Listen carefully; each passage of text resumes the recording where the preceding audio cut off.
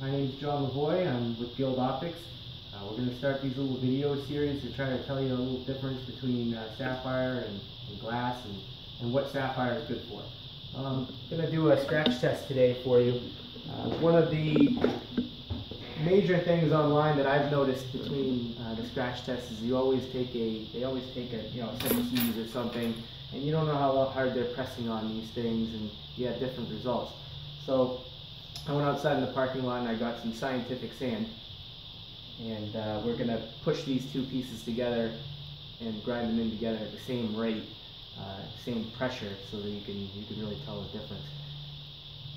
So I have a piece of sapphire here on the right and a piece of glass on the left.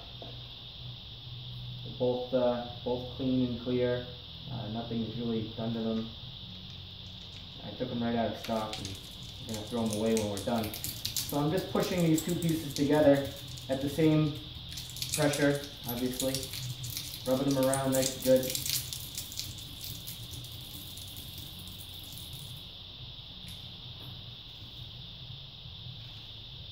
Little more for good measure.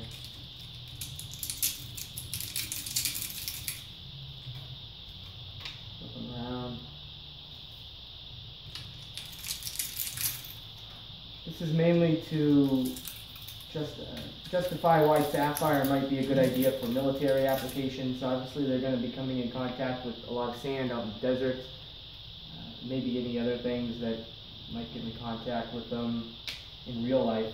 Uh, you know, if you got your keys. If, if for some reason they're going to start making phones out of sapphire, you do you do have your key test where don't really get pushed down on that sapphire one. The glass one, I'm putting a little nominal pressure on it just enough to get the point across. Rocks, anything that might be out in nature that these windows might come in contact with.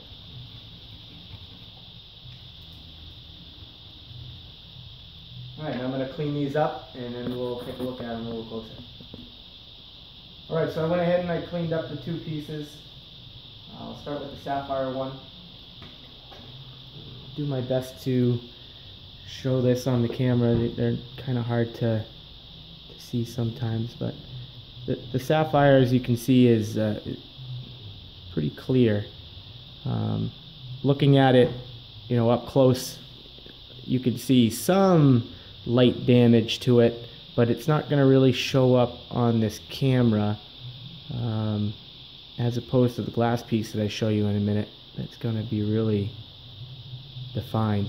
But the, the Sapphire really stood up to that damage test. Uh, that's its claim to fame, so it should have. Uh, when I bring bring up the the glass piece here, you're going to notice some uh, major scratching. Just get the camera to focus in right. There it is. You can see that, that round scratching from the sand, maybe a little bit from the rock. This is this is the basic